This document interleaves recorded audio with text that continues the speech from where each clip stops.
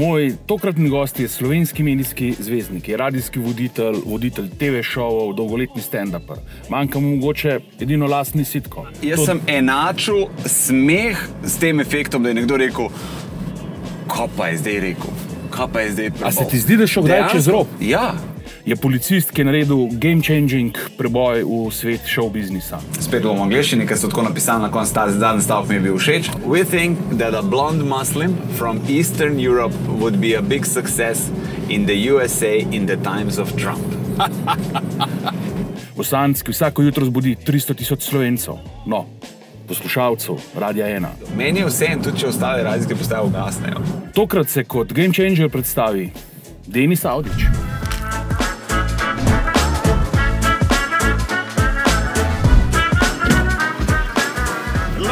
Že Denis. Čau. Kako gre? Pol redu. Uvodoma zmeraj začnem z vprašanjem, Denis Audič, kako bi želel, da bi te ljudje prepoznavali. Potem, da, da, da bi rekel, vem, da je zabaven, direkten in si ponovadi reče tako brez lake na jeziku. In je to to, pa ljudski. No. Pa ljudski. Ja, na strani ljudi. Kako pa mi, da sem te jaz predstavil, jaz sem ta intro naredim za vsakega? Radijski in televizijski voditelj, stand-up komik, bosanci. Ne vem. Dobro, to sem vse res rekel, ampak sem rekel še eno stvar, da si nekdo, ki ima diplomo policista in si se prebil v show business, ne? da si v bistvu verjetno redko. A še kakšen policist, ki je v, v svetu show businessa danes? Pismo v, v svetu show businessa, jaz ne bi vedel. Kako se je to začelo? Mislim, ker to je nenavaden preskok. Ne? Začel se je tako v bistvu, da, da, da itak sem jaz na nekih službenih zvah v policiji, sem pač malo zabaval, sem vzel mikrofon, pa sem ne vem, oponašal sodelavce politike, to se je začelo začel kasneje. To se je začelo pa po eni prometni nesreči. Veš. Ti moš poročati um, v operativno-komunikacijskem centru. Ja. Veš, ne, in ni moš poročati, kaj se je zgodilo. Ja. Ampak prometna nesreča se je zgodila ravno po tistem, ko smo na policijski postaji gledali poročila. Veš, ne, takrat je bil Valentin Areh, se je javljal. Ja, ja. In meni je ta glas ostal, in jaz sem iz čiste zebancije takrat pač. Poročal o prometni nesreči kot Valentinari. In z druge strani, ko bi on mogel reči, sprejeto se je sam slišal, da je še enkrat. in pa sem probo še in pol mi je rata še ne vem, Janšo, pa Jankovič, ampak to je itak večina ljudi te dva lika itak zna, pa katanca sem pol. Ja. A je kdo od teh, ki si, si jih uponašal, se ti pritožil? Katanca. Kaj, da ne mara? Ja, če lahko neham da je zdaj pa že dosti. Jaz sem gledal en klip uh, na YouTubu, da je Janez Janša prišel k tebi v studio in ste ja, se pogovarjali. In... Ja, ja, se je prišel. Ste se pogovarjali v zaporu, tako sem bil presenečen. Ne, ne bi nikoli pričakoval od njega. Dobro, Janša je zabaven. Sam se mi zdi, da mora biti v okolju. Ki je tak. Jaz sem ga takrat vprašal, če lahko govori o tem, kako je bilo v zaporu. Ne? Pa je takoj mi vrgel kdaj je bilo to prvič, drugič, tretjič, da bi rad vedel. Tako je, no, vsem se je pogovarjal. Kaj bi bil pa pol moment, da si pustil službo v policiji? Meni je komandir pisal soboto nedeljo čez dan in jaz sem takrat poklical na radio in sem rekel, jaz več ne morem delati. Ker delam v policiji čez dan. Ja, kako to je, tako je. Ja, pa pridem na radio, pa pusti policijo, ja, kako ne, to zdaj naredim dobil sem ponudbo in takrat sem si rekel, ok, zdaj pa grem, imam kje biti, imam končno nekje za živeti. Da mi povej, kako si pa začel pol še te obstranske biznise, ker si postal vse stand-up. Mislim, stand-up je bil že kar razvit v Sloveniji, so nastopali in tako. Jaz sem pa vodil maturantske prireditve in sem gor. Daj, kaj povedal. Po mi pa vidvali, če enkrat rekel, da jaz imam v Špas teatru vsake 14 dni, uh, stand-up večer, pa vsakeč imam enega gosta, ti bil gost, vse ko ja, prav, a imaš pol ure za govor, pa jaz tako ne vem. In jaz sem se zdaj stvari doma, sem si nekako spisal, spravil vrstni red, sem se štopal, Ana me je poslušala, jaz sem si spisal tri liste in sem rekel, reč mi, ko bo pol ure. Ne? Je pa prav, stop, je, čakaj, kaj je, kaj hočeš povedati, prav, je pol ure. Suho, kako pol ure, prav je pol ure že. Jaz nisem prišel do prve strani, do polovice. In od tod sta bili pol dve predstavi, udar po moško. Čak, udar po moško si sam napisal. Ja, svoj del, ja. pa mali svoj del. Aha, aha. In udar po moško dve tudi. Koliko je to bilo gledalcev, vse skupaj ste kdaj prešteli? Ne vem, jaz mislim, da jih je bilo 80 tisoč. Pa se jih je 15 tisoč gledal sam na kongresnem trgu. Največ gledalcev naenkrat je bilo 15 tisoč. Mislim, to ni, bil, to ni bilo največ gledalcev, pred katerimi sem nastopil. To je bil, uh, to je bil otvoritev stadiona Stožice. ki jih je bilo 22-500. Če bi šel zdaj na oder, o čem bi govoril? To se je zdaj zelo čudno slišalo, ampak verjetno v politiki. Pri meni bi bilo takoj, COVID, politika, ukrepi, nesmiselnost. A ti ne, ti ne Naši- verjameš v COVID? Verjamem, imel sem ga, prebolel sem ga. Uh, še kako je stvar resna, kar se mene tiče, vsega. Se bom držal in tako naprej. Boli me pa otroci, boli me pa šolanje od doma. Jaz že svojega že dve leti, pa, veš, v prvi razred je šel, pa sem ga jaz šolal. Ja. V drugi razred je šel, pa sem ga jaz šolal. In če bo moj otrok znal to, kar zna- kar znam jaz, mu nav dober. Jaz ful želim, da zna ful več. Ja. A bi uspel brez bosancev kot stand-upper? Kot stand-upper mislim, da ne. Kot stand-upper, ne glede na to, kaj si, oziroma kot komik, je fajn, da izhajaš iz sebe in je to to. Zdaj, če je to dovolj dobro, da publika to spreme, bo sprejela, če ne, pa ne. V čem si bil ti drugačen, oziroma kaj ti osebno pripisuješ kot razlog svojega uspeha? Kje je bila tvoja drugačnost? Zrnec je nenormalno smešen. Bizovičar, vse stranski, full dober voditelj, fantastične intervjuje delo. Posmil slakonja, fantastičen imitator. Zdaj, česa ni bilo, ni bilo pa tega, "Ah, kaj rekel.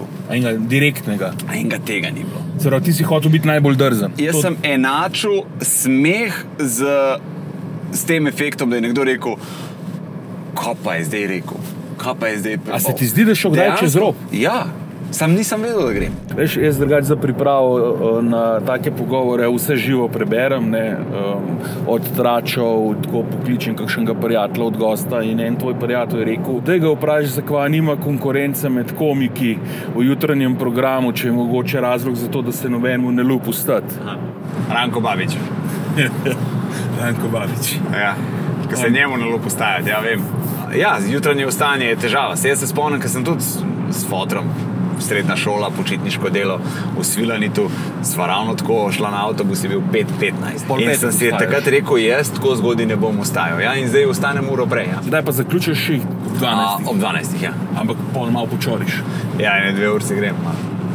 Markant. To na radio ena, Denis Audičov, to furaš kaj 10 plus let. Popovdne je bilo dve let, uh, zdaj zjutraj sem pa že 11 let. To je predmet tvoje improvizacije, ali je to sistemsko vodeno z nekimi jasnimi nudili, programom znanim? Vse je ja, več ali manj nedoločen. Scenarij je napisan. 15 ljudi je, pisce, pisci so. Se pravi, to niso tvoje šale. A, vse ne? Ene so napisane, ene, ja, ene, so pa, ene se pa zgodijo zjutraj uh, v živo.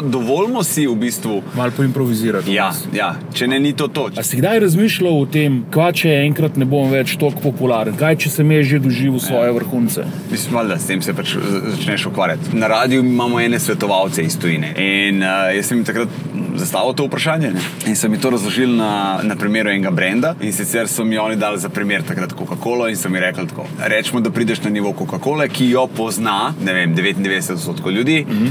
In zdaj, recimo, po določenem času Coca-Cola umakneš z polic. Uh, ljudje bodo prišli, mali bo čuden, iskali bojo, ampak čez nekaj časa bojo domov odnesli Pepsi. Če boš se čez eno leto ali pa dve odločil, da prideš nazaj na police, bo še vedno v redu, ne bo pa nikoli takšnih rezultatov, kot si jih imel prej. Skratka, moraš biti konstanten. Mm -hmm. Uh, moraš biti skozi prisoten. Pa še eno stvar so mi povedali, in sicer so mi rekli, moraš se ene stvari zavedati. Spomin na te je veliko boljši, kot si ti v resnici bil. Aha.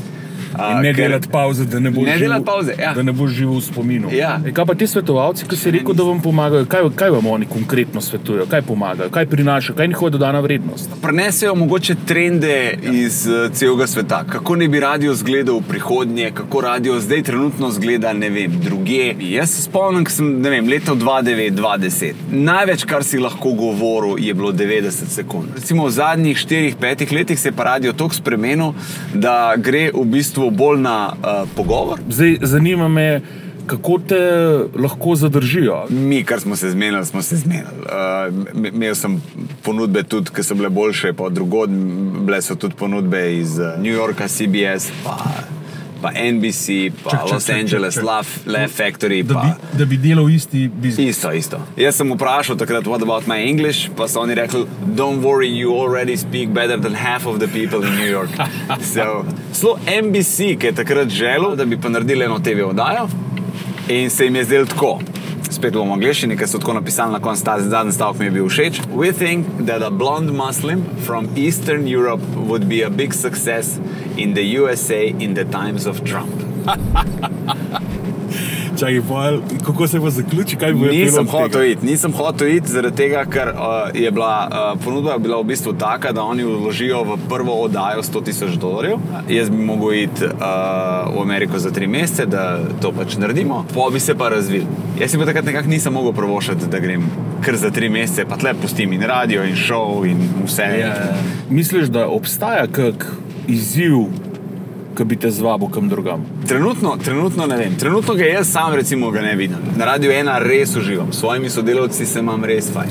A se ti zdi, da zdaj, ko ste uh, pod odlaskom v imperijem, ste nek monopol v Sloveniji, da je to ok za razvoj radijske scene? Kaj, kakšen imperij ima kdo, mi čez dol visi? Zate sam radio ena. Samo radio ena. Meni je res pa sem pa že tudi povedal, meni je vse en, tudi če ostale radijske postaje ugasnejo. Zanima me, kol, koliko se ti zdi, da je televizija močnejši medij za, za to, da se nekdo pre, postane bolj prepoznaven. Ali misliš, da je radio ena kljub vsem v teh desetih, dvanajstih letih več naredil za, za tvojo prepoznavnost? Absolutno je radio naredil največ. Več kot to, da smo te gledali ja. na popu. Radio je naredil največ. Televizija ima vse en svoj čar kje se to vidi, vidi se v času trajanja oddaje na ulici. Je čist drugačno obnašanje ljudi, kot pa če te oddaje ni. Recimo Jana Morel je tudi na televiziji, vodi vreme na 24. Ampak uh, prepoznavnost, ki jo imamo mi dva z Jano, ima tudi državljak, pa nikoli ni bil na televiziji. In radio je ravno tako, ima svojo moč, če celo verjamem, da ima večjo od televizije, ker na radiju so najlepše slike. Zakaj v Sloveniji komiki nimate svojih sitkomov. Zdaj, tako je, Slovenija ne bi bila premajhna za, za neki tazga. Ne. Zdaj, dobro, zdaj zrnec ima, ima šefa eh, na, eh, na vojo.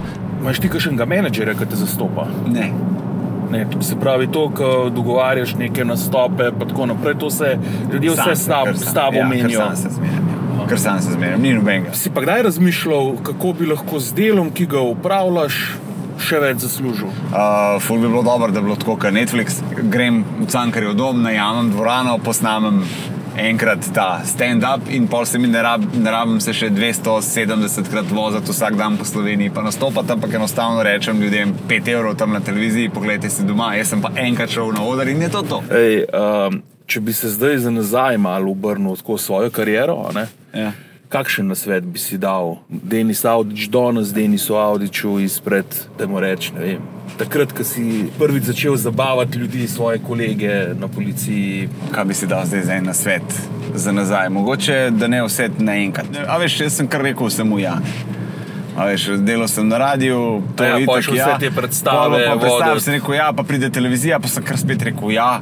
Veš, pa sploh nisem razmišljal, koliko mi zdaj... bo časa to vzel in koliko mi bo to pol na koncu podaril. Ampak zdaj te manj ampak, vidimo. Ampak, ja, zato ker sem se mogel ustaviti, že, že z razdravja, malo me je ruknil. Malo sem izgoril, malo, malo, malo sem v kliničnem preživel.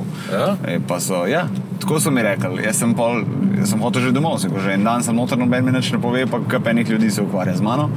Pa so pa na koncu tu rekli tako: vse, kar ti opisuješ, uh, nakazuje na infarkt, ja? vse, kar smo mi testirali, uh, kjer neč ne najdemo, neč ti ni. Pa so se pa začeli malo pogovarjati, pa sem malo pisal, koliko spim, pa koliko delam zadnjih pet let. Ja pa smo prišli na to, da sem spal po 3 do 4 ure na dan. In so mi rekli, pač enostavno, da je to izgorelo in da se moram malo umiriti. Pa pa, po tistem so mi dali uh, celo poletje frej na radiju, uh, nastopati sem nehal v gledališču, uh, na televiziji pa delam uh, enkrat na dve leti. Kaj je tvoja asociacija za vrhunski produkt? Zobna pasta. Je zobna pasta? Pa, pa če vsi nekako moramo to uporabljati, to moraš zjutraj. Zubna pasta je vrhunski produkt. Ni, ti, daš, ti moraš to, ti moraš to imeti doma. A kdo je, ki nima zubne paste doma? Jaz upam, da ne. Ja. Jaz, kaj, pa je, kaj pa je vrhunski marketing, asociacija za vrhunski marketing za te? Te kardašenove eh, punce. To, to se mi zdi vrhunski marketing, ker se mi zdi, da cel posel narejen iz čistega marketinga in je Tek. to to. Kaj pa je za te asociacije na zadovoljno stranko? To sem pa jaz pri frizerju, ker ne rabim plačati.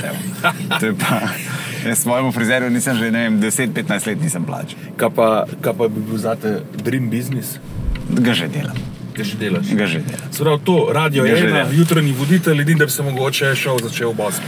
Pismo, ja, to bilo pa full fajn. Ampak je navada slovencev taka, da so full pridni in da se začne delati že v petih in je to to. Nimaš kaj. Um, a imaš kakšno misel, ki bi jo rad podelil do teh gledalcev mojih intervjujev? To pa pravimo vsem povedati. Sploh, um, ko gledam, sploh imamo, veliko, veliko imamo pravka z, z, z, z otroki, pa so iz socialno ogroženih družin. Pa, a veš, že na obrazu se jim vidno, že na obrazu se jim vidi in tako naprej. In doskrat se ljudje znajdejo, res taki so ljudje, doskrat se mogoče ne vidijo nekega izhoda. Uh, in moj message je vedno isti. Mej sanje, uh, uh, uh, ne more biti skozi tako, bo sam priden, da je vse od sebe in bo full lepo enkrat. Hvala. Warte.